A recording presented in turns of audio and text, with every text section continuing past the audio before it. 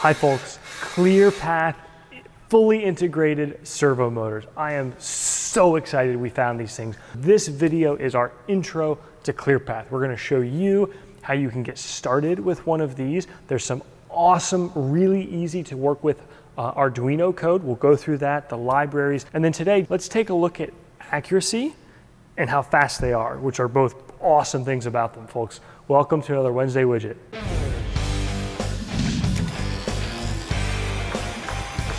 So we're really excited about these ClearPaths. We've got some projects that we've had kind of on hold for a while because I just wasn't crazy about using basic steppers for them. And don't get me wrong, we love steppers. Uh, they've been some of our most popular videos and they're great and they're really cheap. But there's some major drawbacks on functionality, which we'll talk about that at the end of the video. If you are interested though in seeing more what we do on ClearPaths, please click the subscribe button. We, have got, I'm, I'm really excited about what's to come. So one of the crazy things, I almost didn't believe it at first, is ClearPaths have an auto homing routine that will home against a hard stop. So you don't need a separate homing switch. So I didn't believe this, and I've heard it's great. So let's grab our uh, Mitutoyo dial test indicator, and let's see how repeatable it really is. So we've got a Mitutoyo dial indicator set up here each one of the tick marks is half a thousandth of an inch. So it'll take about eight ticks to equal the thickness of a human hair or a sheet of printer paper. Pretty darn precise. So we can preload it. We've got a Noga indicator here. These things are great. We can come in and these are really sensitive, but turn this knob and push against the tip here and get it to zero. And we may even be able to use the fine adjust in the base. Cool.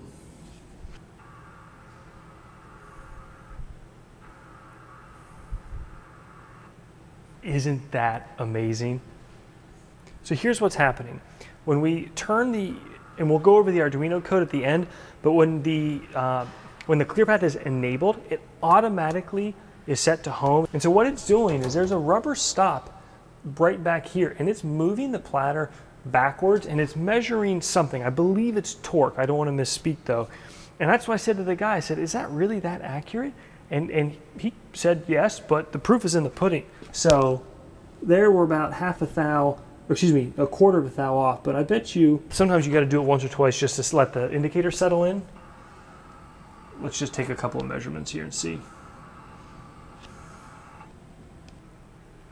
And I'll readily admit, this is kind of a perfect scenario.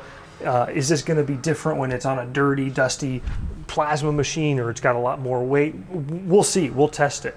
But well, from what I've heard, these hard stop homing switches are pretty darn awesome. And you know how amazing that is? Oh my gosh, I love it. All right, let's take a look at the speed side here. So I just loaded some code. We'll take a look at it in a second. And this, this is, I believe, full speed, at least for this version of the ClearPath. This is awesome. So the beauty of photo uh, or filming here is we can use the timestamp from the camera to figure out how fast we actually went Let's though take a, go take a look at the code though, show how easy it is to do this and look at what the implied speed should be. A couple of things to note is that we are setting the max velocity and the max acceleration here, which is what's driving the speed that I'm trying to get to show this off. This may look like a lot of code, but really all it's doing is saying x move total distance. Total distance, by the way, is just 75,000, and I'll come back to what that is and then it delays 20 milliseconds. That's one fiftieth of a second. And then x move negative total distance, which is to go back home. And it follows that at the acceleration and velocity settings we put in above. It's just that easy. So what's the 75,000? In my opinion, quickly gets, I wouldn't say complicated, but it's easy to get lost. 75,000 is the distance in steps. And see this line right here? There's some pretty awesome software called MSP, which is free from Teknic that you use to tune the uh, ClearPath when you get it, and it addresses how much weight is on it, and it lets you do some really otherwise complicated and tricky stuff. I don't have it connected right now, so it doesn't make sense. More to come though. But one of the things we had set there is 1600 steps per revolution of the motor. So if we're going 75,000 steps in 1600 steps per rev. some pretty simple math. 1600 steps per rev, we just mentioned that, and the 75,000 is the total amount of steps that we're traveling.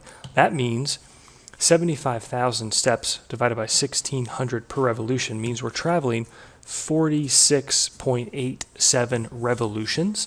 And it's a 10 millimeter pitched lead screw in that beautiful Bell Everman linear stage, which equates to 18.454 inches. I believe, and I need to check on this, that we can get up to about 3,500 RPMs as it's currently configured. Now, there's some acceleration there that happens, so it won't be at 3,500 RPMs the whole time.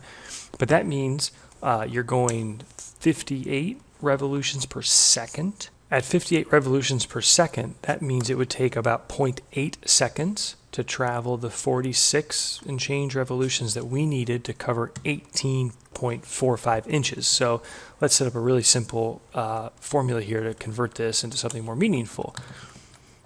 Cross divide makes it easy. So I want to know how far I would go in one full second. So equals this times this divided by that. So I'm doing the 18.45 times 1 divided by 0.8. That means in one second I should be able to go 22.96 inches. So that's inches per second, which means times 60 IPM, 1377 inches per minute. I don't know what we ended up with while in the actual while we're filming this, but I will know when we're editing right here. So let's see just exactly what that looked like. Pretty awesome though. We've got a dial indicator set up. It should be zeroed at the end of the travel. Let's combine speed and precision. When we go as fast as we can, whatever it ended up being, 1,000, 1,200 inches a minute, do we get any sort of slop or run out at the end? I'm really hopeful that this is going to show.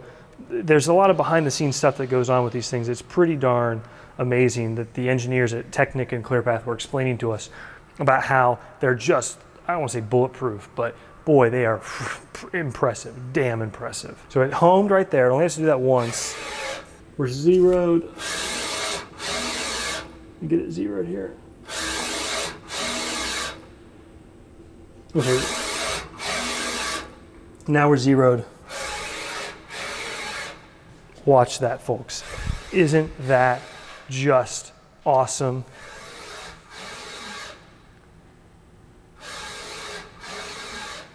I mean, it's just on. It's not like a little above, a little below. It's just dead nuts. And that's crazy. This shaft is rotating at something like 3,500 RPMs at the max uh, RPM range along here as it moves this ball nut along these linear rails. Oh my, folks, amazing, just amazing.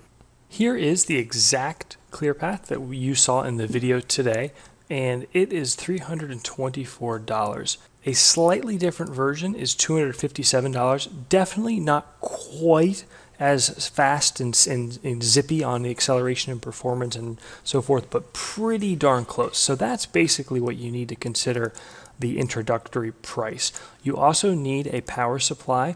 They make one here. Again, all these links are in the video description for basically uh, the uncovered one for 200 bucks.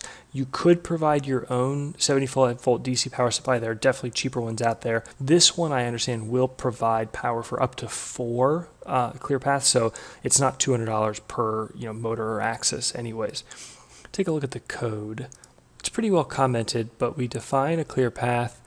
Uh, initialize this. This is all stuff I would copy and paste. We're traveling 75,000 steps, which is again very important to correlate to what you're trying to do. And we do some setup stuff in Arduino where we attach the ClearPath, set the max velocity um, and acceleration. The enable is what sort of homes it. Uh, and that's really it. A lot of the rest of this noise in the code is stuff that's more useful for debugging, like serial uh, outputs about what's going on behind the scenes. So again, this is something where I would use as a starting point because you don't need to retype all of this. X, which is nothing to do with the x-axis, but rather the fact that we defined a ClearPath as x.